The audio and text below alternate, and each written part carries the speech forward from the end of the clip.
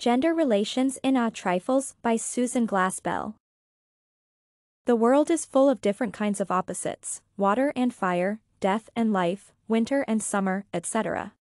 But the biggest paradox is that man and woman may appear as the strongest opposition.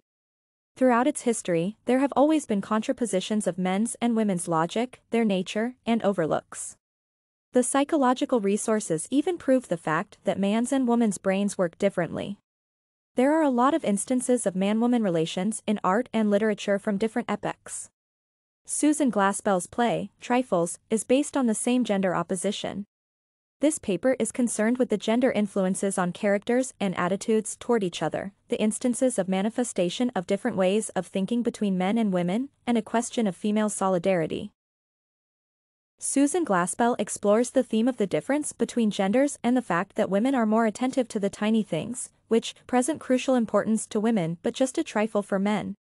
The attention to detail is one of the main points of the play.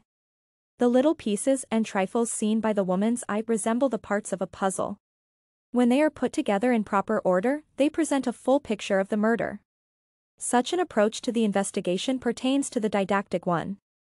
The author also makes use of the different instances of discovering men's false domination of women. Women are making an essential part of the investigation paying attention to the details that are not obvious to men. But such an approach seems ridiculous to men. Mrs. Peters. She worried about that when it turned so cold. She said the fire'd go out and her jars would break. Sheriff. Well, can you beat the women? Held for murder and worrying about her preserves. Mr. Hale. Well, women are used to worrying over trifles. Some instances of difference in logical thinking are another point of manifestation of the gender's opposition.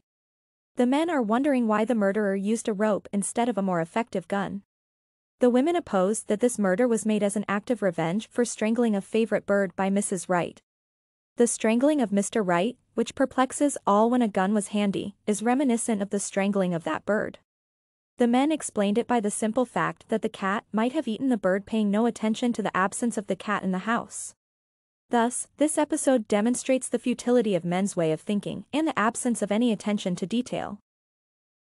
Furthermore, the women establish a real murderer by involving their background knowledge about relations in Wright's family and Mrs. Wright as a personality. We know her from the story as a cold woman with not much to do in her life. She had no children and all that she had for company was a bird. Mrs. Wright is no longer the sweet fluttery bird she used to be. This change is a result of Mr. Wright's rude attitude to his wife and his despotic character. One of the women even depicts life with him in such a way. He was a hard man Mrs. Peters. Just to pass the time of day with him, like a raw wind that gets to the bone.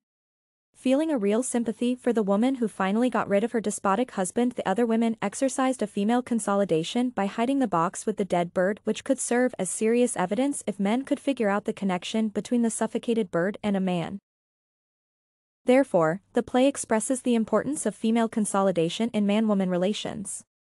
Besides, it signifies the conceit and selfishness of men.